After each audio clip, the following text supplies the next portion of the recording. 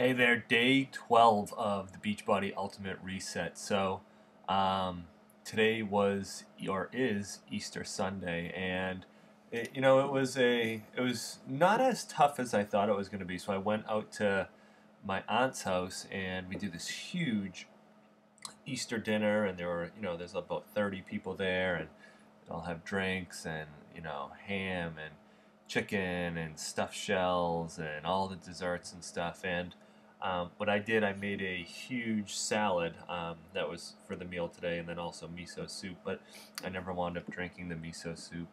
Um, but anyways, I had the the salad, and it, it, really filled me up and satisfied me. And there was a couple times I, I, grabbed a few pieces of chocolate just to smell it, but you know, never put anything uh, in my mouth. So all in all, a successful day. And where I'm kind of at right now, you know, just uh, so it was sort of three days back to back that were definitely tough. So on Friday, I flew out to Tampa and made meals for the day. Um, then, well, we went out to dinner Friday night. Then Saturday, um, I had all of my meals prepared. Spent the day in Tampa with some great people, and then Saturday flew home. So got home around two o'clock in the morning, and then up early this morning. So this was really these three days were one of the big tests for me. Usually when I travel, um, I, I, eat a lot crappier than I normally would, and it was good to have those meals prepared.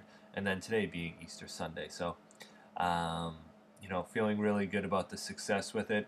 But also, uh, I know myself, and on the second half of things, so I have a pattern of um, not completing things, not finishing things. So just getting re-energized, refocused right now on the next nine days. So we've got 12 down after today, and then nine more to go. So just really focusing in on um, getting that, getting back into a very clear, focused space with knowing exactly what I'm doing, why I'm doing it, and um, whatnot. So that's where I'm at right now. Um, looking forward to the next nine days. So far, down 12 pounds. So 12 pounds in 12 days.